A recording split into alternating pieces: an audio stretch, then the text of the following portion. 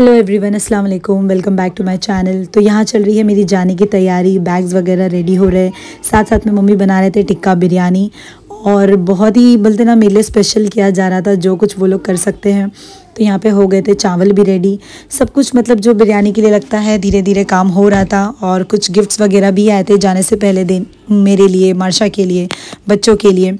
और ख़ास मतलब पहले भी बिरयानी बन चुकी थी, वो बहुत ही यमी थी। तो मैंने बोला कि लास्ट बार एक बार फिर बना दो मम्मी, क्योंकि यहाँ आने के बाद वो सारा टेस्ट है ना, बहुत मिस करने वाली हूँ मैं। और बस कुछ ही वक्त बचा था इवनिंग की मेरी फ़्लाइट थी तो सोचे कि कुछ हो जाए, जैसा भी हो सकता है, जो करे। ज़्यादातर पूरा वक्त मेरा प्रिपरेशन में ही गया और बहुत जल्दी कोशिश करना था कि सब कुछ रेडी हो जाए, ताकि मैं इवनिंग में थोड़ा रेस्ट लेके निकल पाऊँ।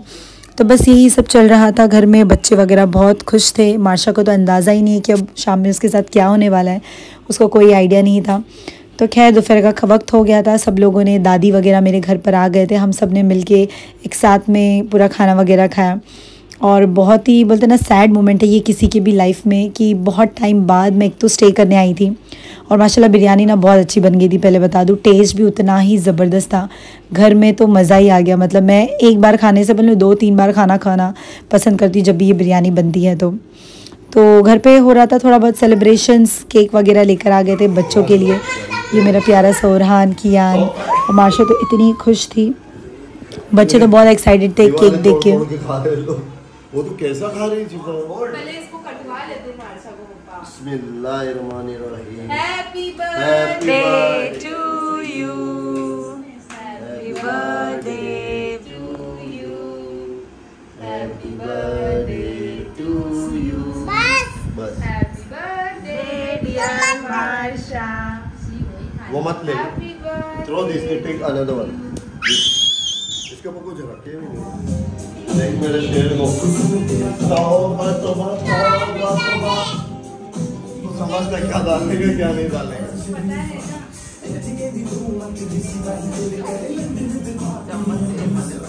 माशा का बर्थडे नहीं था यहाँ पे, लेकिन बस ऐसी सेलिब्रेशन चल रहा था और ये मेरे क्यूटी से हो रहा है माशाल्लाह सब बच्चे बहुत इन्जॉय कर रहे थे। हो गया था इवनिंग का टाइम यहाँ पे बैठ के हम सब वेट कर रहे थे। पहले सोचो ओला से चले जाते क्योंकि अब्दुल्ला नहीं था और ये सारे मेरा बैग्स भाई, इतना सारा सामान था, उफ, क्या बताऊँ। तो बहुत मैं एक्साइटेड भी थी और लेकिन अब्दुल्ला आ गया था शाम में मतलब जाने से पहले। तो ये बहुत बड़ा सरप्राइज़ उसने दिया मुझे कि अनएक्सपेक्टेड था कि वो रहेगा, नहीं रहेगा डाउटफुल था। बट अलहमदिल्ला जाने से पहले वो आ गया।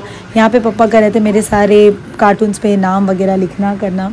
कुछ कुछ भी मैंने लिख रखी थी लेकिन वो सेफ्टी के लिए पूरे साइड लिख रहे थे। बहुत हेल्प कर रहे थे यार पूरी फैमिली मेरी। दादी वगैरह बहुत खुश थे। टाइम पे पहुँच गया। फिर पहुँचना ही था ना। ये टाइम पे अगर नहीं पहुँचता तो फिर क्या चलता? चलो अल्लाह हाफिज़ सब अपना ध्यान रखना। चलो। चलो चलो तुम लोग दोनों जल्दी चलो। अब वो एक घंटा और लेट गएगा ना तो सो गए तो सो गए तो अच्छा सा इसको यहाँ से छोड़ क्या? छोड़ना नहीं है। चलो पापा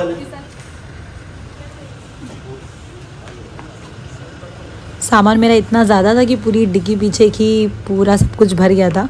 बट खैर गाड़ी बड़ी थी तो सब कुछ हो भी गया फिट जाए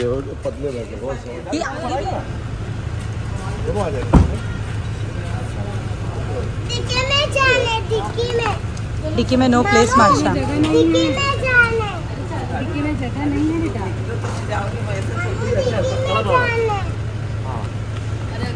यहाँ पे हो गया था सारा सामान सेट दादी को कह दी थी, अल्लाह हाफिज़, बहुत ज़्यादा रो रही थी, बिल्कुल अच्छा नहीं लग रहा था उन्हें छोड़ के जाने के लिए।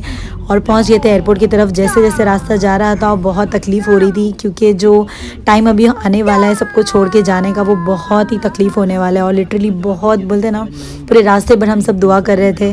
परेशान भी थे कि क्या करें, बहुत स्ट्रेस हो रहा था सब लोगों को।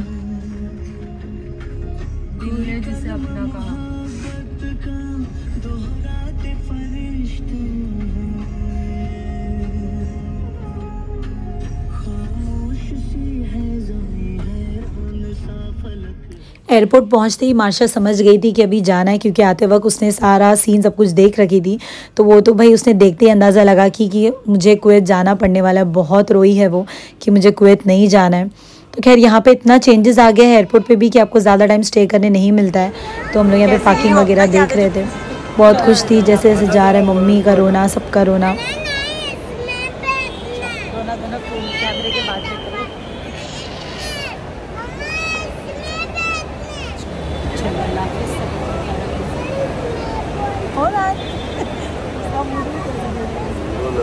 टाटा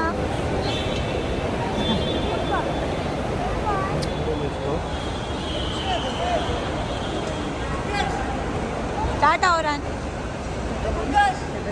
फ़ायदा है ना तो बड़ा बैग जो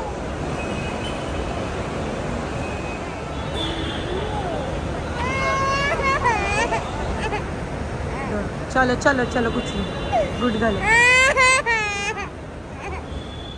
तो सारा इमिग्रेशन वगैरह क्लियर करने के बाद बैगे सब कुछ होने के बाद मैं आ गई थी प्लेन में, क्योंकि बिल्कुल रिकॉर्ड करने का टाइम नहीं मिला। माशा इतना ज़्यादा परेशान कर रही थी। और साथ ही साथ मेरा लगेज भी एक्स्ट्रा था तो उसके लिए भी बहुत मुझे मैनेज करना पड़ा। लेकिन अलहमदिल्ला सबकी दुआ मेरे साथ में थी तो सब कुछ आसानी से हो गया। जो मैंने सोची भी नहीं थी, सारा सामान भी क्लियर होगा और इतनी हेल्पफुल लोगों मुझे किए लोगों ने। तो साथ में साथ में जो मेरी एक फ्रेंड बन गई थी, आलिया, उन्होंने भी बहुत हेल्प की है मार्शा को संभालने से लेके पूरे सामान के लिए। तो ये सब जो दुआई है और सब हम जो कहते हैं ना, किसी के लिए कुछ अच्छा करो तो आपको वो रिटर्न में ज़रूर मिलता है। तो बस वही सब कुछ हुआ है।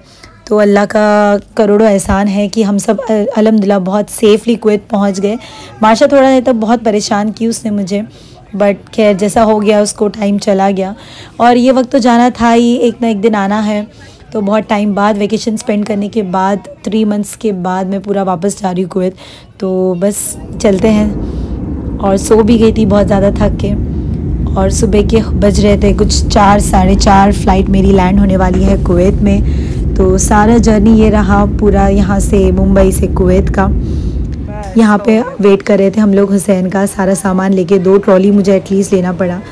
तो अर्ली मॉर्निंग था बहुत नींद भी आ रही थी थकान भी थी बट खैर थोड़ा वेट करना पड़ा टाइम पे नहीं आ पाए हुसैन बट इट्स ओके होता है कभी कभी तो बस आ गए थे दोनों जाके, कुछ ना कुछ ले आए, बहुत सता रही थी कुछ उसे चाहिए था टॉयज़ वगैरह कैंडीज़ कुछ तो। तो finally Kuwait we are back to Kuwait और अल्हम्दुलिल्लाह अर्ली मॉर्निंग सुबह सुबह पहुँच गए। तो यहाँ के जो रोड्स है, वो इस तरह से खुले खुले साफ़ सुथरे सब देखने मिल गया। बहुत ही सनराइज़ हो रहा था यहाँ पे अर्ली मॉर्निंग का टाइम था। और इतनी ज़्यादा गर्मी थी। ओ माय गॉड तो ये रहा मेरा पूरा vlog thank you so much for watching अपना ढेर सारा ख्याल रखिए।